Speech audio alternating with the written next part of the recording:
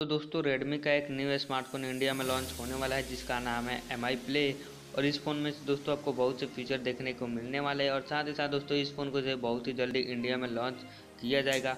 और दोस्तों, इसमें जो है, आपको चार जी बी का रैम और साथ ही साथ चौंसठ जी का इंटरनल स्टोरेज भी देखने को मिलने वाला है। और साथ ही साथ डुबल कैमरा सेटअप और तीन हज़ार की एक बड़ी सी बैटरी भी देखने को मिलने वाली है। और दोस्तों, इसकी प्राइस है, वो है काफ़ी लो तो चलिए इस वीडियो में इस, इसकी पूरी डिटेल बताने वाला हूँ कि क्या कुछ मिलने वाला है इस फ़ोन में और कितने प्राइस में कब तक फ़ोन जो है इंडिया में आने वाली है। तो दोस्तों वीडियो में बन रहेगा एंड तक। अगर अभी तक चैनल को सब्सक्राइब नहीं किया तो चैनल को ज़रूर सब्सक्राइब कर लीजिएगा और बेलाइकन को भी प्रेस कर लीजिएगा दोस्तों सबसे पहले हम बात करते हैं इस फ़ोन के रैम के बारे में। तो फोर का रैम और साथ साथ इंटरनल स्टोरेज की बात करें तो चौंसठ का इंटरनल स्टोरेज देखने को मिलता है। और साथ ही साथ यहाँ पर हम बात कर लेते हैं कैमरा के बारे में। तो डुबल रेयर कैमरा सेटअप देखने को मिलता है, जिसका मेन कैमरा होगा, वो होगा बारह एम का प्लस टू एम का। और साथ ही साथ दोस्तों, आपको इसमें एक एल ई भी देखने को मिलने वाला है। और दोस्तों, यहाँ पर आपको बहुत से शूटिंग मोड मिलने वाला है, जैसे कि एच डी आर डायमाइट हाई क्वालिटी वीडियो शूटर इसी जो आपको बहुत से वीडियो शूटर देखने को इसमें मिलने वाला है। और साथ ही साथ फ्रंट कैमरा की बात करें तो एट एम का सेल्फी फ्रंट कैमरा देखने को मिलने वाला है,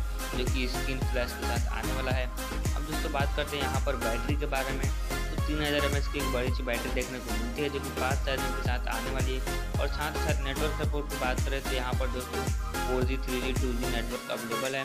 तो यहाँ पर हम बात कर लेते हैं कुछ कनेक्टिविटी की। तो यहाँ पर wifi Bluetooth G P S U S B type C और three point five M M audio jack ये सारी चीज़ें इसमें अवेलेबल है। अब दोस्तों बात करते हैं यहाँ पर फिंगरप्रिंट सेंसर की। तो रेयर में फिंगरप्रिंट सेंसर देखने को मिलता है और साथ ही साथ ऑपरेटिंग सिस्टम की बात करें तो Android V eight point one का ऑपरेटिंग सिस्टम इस फ़ोन में देखने को मिलता है।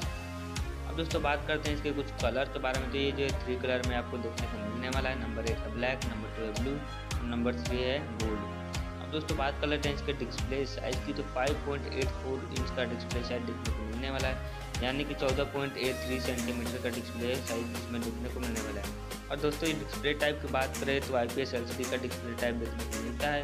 और साथ साथ बात करते हैं प्रोसेसर की तो MediaTek L I three five का प्रोसेसर देखने को मिलने वाला है इस फ़ोन में। तो दोस्तों, ये रही फ़ोन की कुछ बेसिक डिटेल और अब हम बात कर रहे थे इसकी लॉन्चिंग डेट की। दोस्तों, इसे जो है नवंबर तक लॉन्च कर दिया जाएगा इंडिया में। यानी कि नवंबर तक इस फ़ोन को जो है इंडिया में देखने को मिलने वाला है। और साथ ही साथ दोस्तों, बात कर लेते हैं इसकी प्राइस के बारे में। तो इसकी जो प्राइस है, वो है ग्यारह हज़ार रुपये इंडिया के लिए। यानी कि ग्यारह हज़ार रुपये में आपको इतने सारे जो फीचर देखने को मिलने वाला है। तो बस दोस्तों, वीडियो में इतना ही। अगर वीडियो पसंद आए तो लाइक ज़रूर कर दीजिएगा, चैनल को ज़रूर